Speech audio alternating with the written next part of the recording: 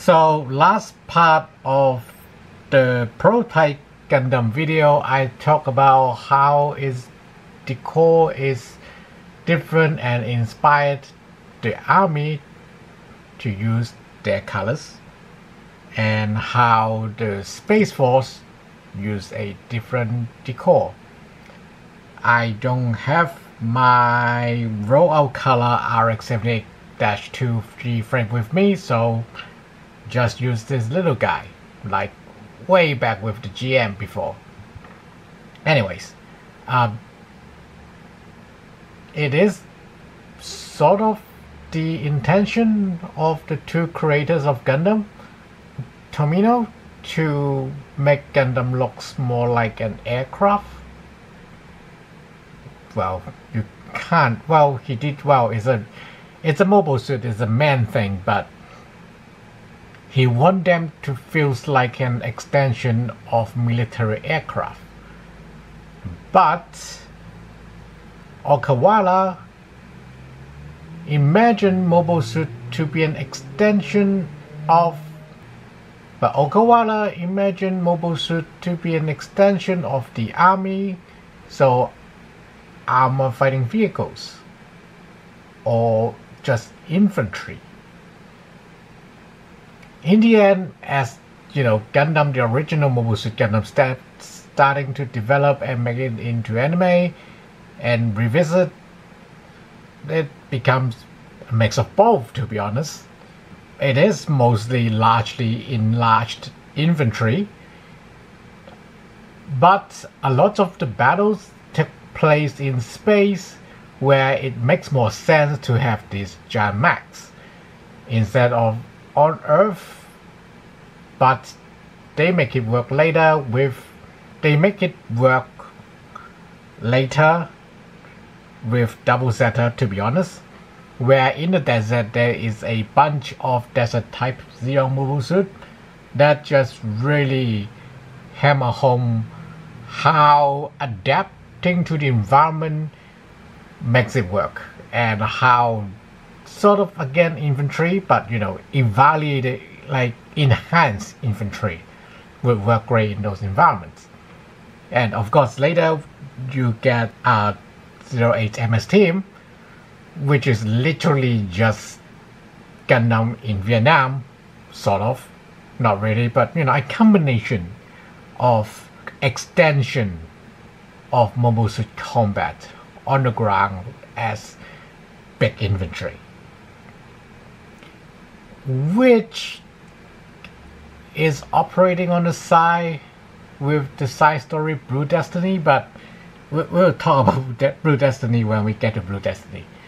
For now, it is just the color scheme, how Okawara is thinking Mobile Suit as extension of infantry, thus army, thus low vis, while Tomino is thinking um, aircrafts, which is not exactly high vis, but brighter in general, or especially for a prototype or for should say non-radar like visual visual base uh, aircrafts they would be brighter.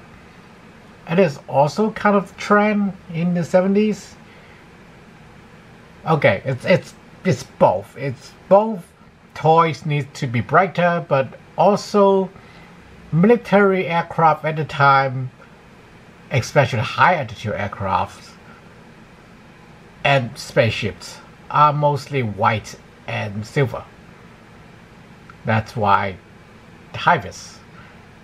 Um, but at the same time, we know there are things like Dragon Lady and the Blackbird that are, and later stealth, stealth military aircraft that are black. Although as time went on, they become gray, because you know if you have black spot in the sky in the bright bright day you know it's pretty clearly there's an aircraft out there so along the way it comes in the middle to a really really medium gray that also absorbed a lot of the non-visible light. But aside from all that, because Minkowski particle take care of all, all non-visible, well, most non-visible light. Uh, we know a lot of the EVAC suits uses uh, well, not all the EVAC suit, but we know they still have laser communication, so with sufficiently high output, you can still penetrate the Minkowski particles. I'm not sure if higher frequency works, uh, but you know, infrared works, so so long there is enough power or enough reflection out of it, it would penetrate through the Minkowski particle interference. Anyways, uh, I talk about how ground type use khaki, which not entirely true for ground type Gundam, but you know there are things like the GM Command and later the uh, GM Type C. Uh, well, there is the desert type ground type Gundam, but not here. Uh, so this is this is not the exact gray as like this gray is not the exact gray as the prototypes, but when you compare to the white, it is very much gray.